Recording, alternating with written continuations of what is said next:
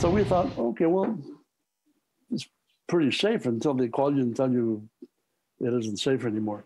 Bill last saw his nine year old mother right here at the long term care home Idola Saint Jean in Laval on Christmas Day. The home that was mostly spared during the first wave last spring is now unfortunately seeing a growing outbreak with over 70 staff and residents infected.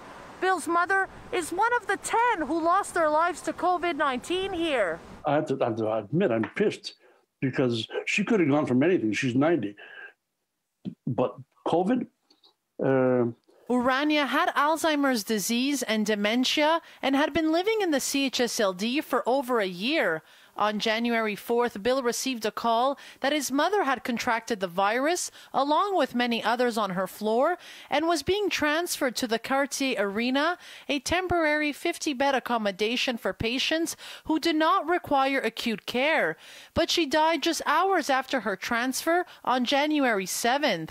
Bill says he's frustrated because he believes the rapid tests sitting in a warehouse instead of being used by the province could have saved his mother's life. He also blames Quebec's vaccine rollout plan, which he says failed to ensure his mother and other seniors in the home were vaccinated in time. So, had my mother gotten her vaccine three, four weeks ago, who knows?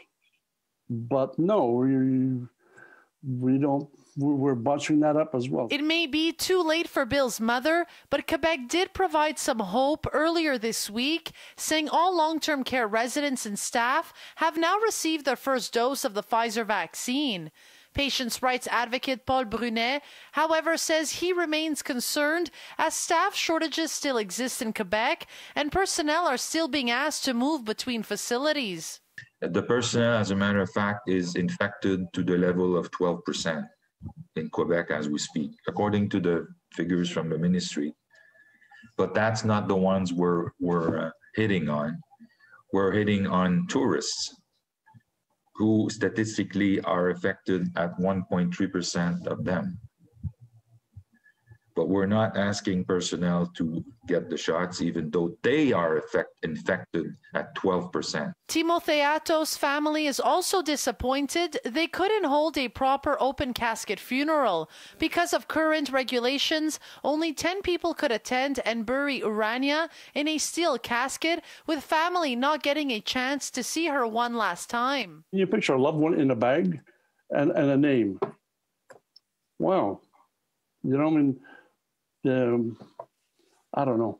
It, it, was just horrific. That's what it was. It was horrific. To you, so you, not only you get the, the shock that your mom just died, and you bury her like a piece of radioactive material in a steel case. Although Quebec has implemented several measures in recent weeks, including a month long overnight curfew to stop the spread of the virus, Bill doesn't believe the province is heading in the right direction. They closed up the economy. I mean, they, they closed up everything. They put a curfew, which is fine.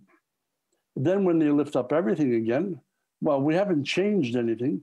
We're just hoping that people get vaccinated, but the vaccines are kind of late. So, what's the point? In Montreal, Melina Giubilaro, City News.